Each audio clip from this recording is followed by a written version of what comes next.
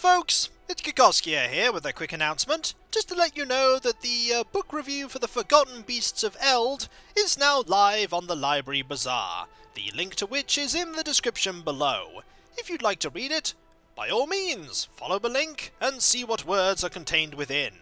There'll be a day or so of uh, pause between uh, that review going up and the uh, next vote, which will be between two books, those being Death Hunter and Farseer.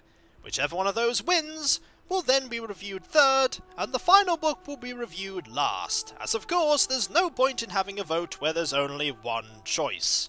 And then a new selection of four books will be available to vote for. And so, that was pretty much all there was for this announcement. It's a nice view out there, isn't it, Spunty? The endless ocean beyond. What adventures lie in other shores, in other lands, beneath the sea, in the stars, in realms that are not Azeroth itself?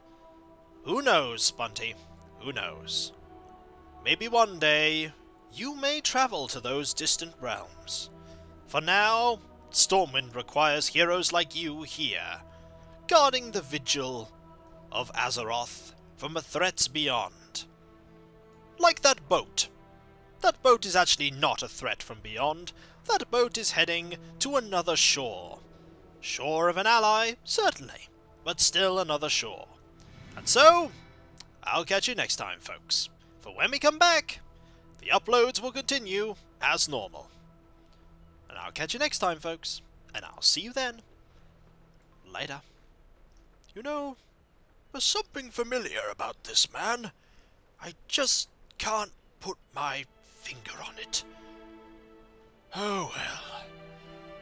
It's a nice day out. If only the situation in Azeroth were not so grim. Ah. Indeed. These are dark time. Oh, look, that's Westfall over there. Wow, Westfall really isn't that far away, is it? It's literally over there. Kind of ruins the view, doesn't it? Just a little. Hmm. Later.